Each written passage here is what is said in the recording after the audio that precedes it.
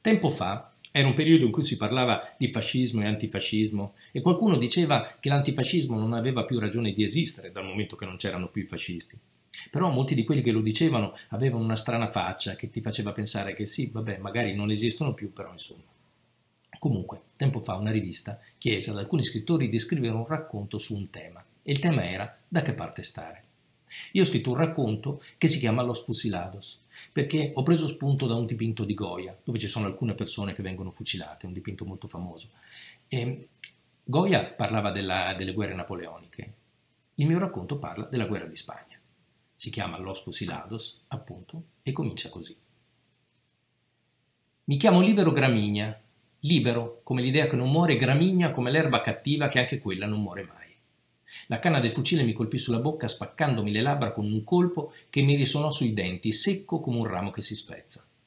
Ce l'avevano detto di star zitti, ma star zitto non sono stato buono mai, neanche da bambino, neanche con mio babbo, figurarsi coi fascisti.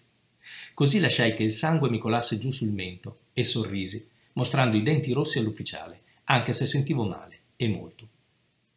Erano solo cinque minuti che eravamo nel barranco e già si era tolto e messo i guanti mille volte l'ufficiale annusando l'aria con quel suo muso da topo, i baffi stretti sulle labbra e gli occhi vicini, a spillo, sotto la nappa del berretto, la tenente della guarnigione di Granada. Accanto a me c'era un uomo in camicia, che tremava, ed era a lui che io parlavo, sfidando le botte dei fascisti e i sibili loro da serpenti, adelante, e io de puta. Era un poeta l'uomo in camicia, e aveva paura di morire. Noi siamo così di famiglia, disse, gente che non sa stare zitta.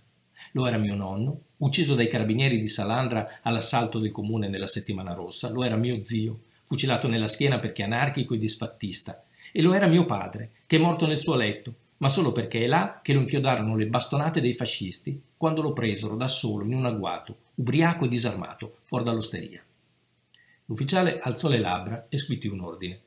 Rapidi soldati, curvi, neri e saltellanti come un branco di avvoltoi, ci strinsero contro una duna del barranco, spingendo indietro con i calci dei fucili. Il mio poeta era impallidito ancora e aveva chiuso gli occhi, quasi come fosse morto.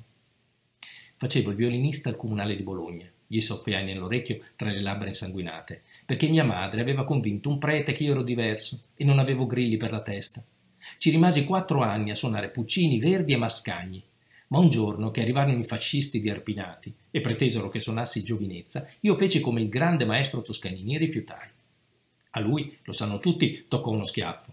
Ma io ne ebbi il naso rotto e un dente in meno e quattro costole incrinate perché avevo attaccato l'internazionale e se sono ancora vivo è solo perché quello che mi prendeva a calci nella testa fu sicuro che mi aveva ucciso. Allora sono scappato e sono stato tra i primi a venire in Spagna per combattere i fascisti, perché zitto io non ci so stare e ci sono dei momenti in cui si deve far vedere da che parte batte forte il cuore. L'ufficiale aveva già la spada fuori e i soldati s'erano messi tutti in fila, col fucile appoggiato sulla spalla e le canne su di noi, stretti a mucchio l'un sull'altro, contro la duna del barranco. Allora il mio poeta mi guardò e mi parve che negli occhi la paura gli fosse scivolata un po' più in fondo. Libero Gramigna, gli dissi, e lui rispose Garcia Lorca. E insieme ci voltammo verso i soldati, e mentre gli gridavo sparate, brutti porci di fascisti, alzai le braccia in alto, con le palme delle mani aperte e le maniche bianche della camicia gonfie del vento del barranco. Buon 25 aprile. Buona festa della liberazione.